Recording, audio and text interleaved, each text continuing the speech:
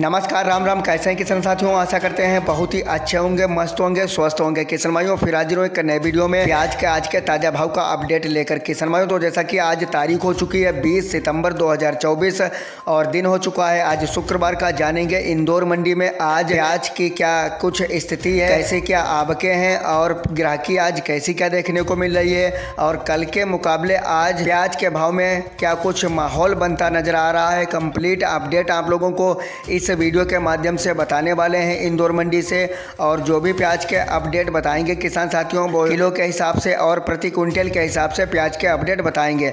तो अपडेट को पूरा देखें, तभी आपको पूरी जानकारी मिलेगी। चैनल पर पहली बार है, कृपया करके चैनल को सब्सक्राइब ज़रूर कर लें और पास वाली बेलाइकन को प्रेस कर लें ताकि जब भी मैं प्याज के भाव का अपडेट डालूँ, इसका नोटिफिकेशन सबसे पहले हमारे किसान मित्रों तक पहुँच। चलिए किसान मित्रों, जानेंगे आज इंदौर मंडी में प्याज की पोजिशन क्या बनी हुई है। किसान साथियों, सबसे पहले तो बात करेंगे आवकों की। तो आवकों की बात करें तो आज इंदौर मंडी में पचास हज़ार से लेकर पचपन हज़ार कट्टों की आवक पहुँची है और प्याज के भाव की बात करें तो जैसा कि जो हल्की क्वालिटी वाला प्याज है, आज इंदौर मंडी में पैंतीस रुपये से लेकर सैंतीस अड़तीस रुपये प्रति किलो के हिसाब से और जो एवरेज क्वालिटी का माल है, कुछ ठीक ठाक वो अड़तीस रुपये से लेकर चालीस रुपये प्रति किलो के बीच में, यानी अड़तीस सौ रुपये से लेकर चार हज़ार रुपये प्रति क्विंटल के हिसाब से। और किसान साथियों, जो बढ़िया सुपर क्वालिटी माल है, यानी कोई भी दाग धब्बे की शिकायत नहीं, जिसका साइज़ बढ़िया है कलर पत्ती बढ़िया है, उनकी पोजीशन आज इंदौर मंडी में चार हज़ार रुपये से लेकर बयालीस सौ तैतालीस सौ रुपये प्रति क्विंटल के हिसाब से आज देखने को मिल रही है।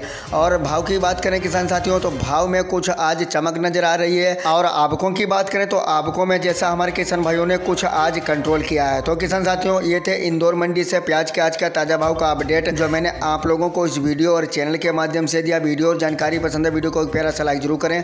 लाइक साथ साथ ज़्यादा से ज़्यादा शेयर करें चैनल को सब्सक्राइब ज़रूर कर लें। धन्यवाद।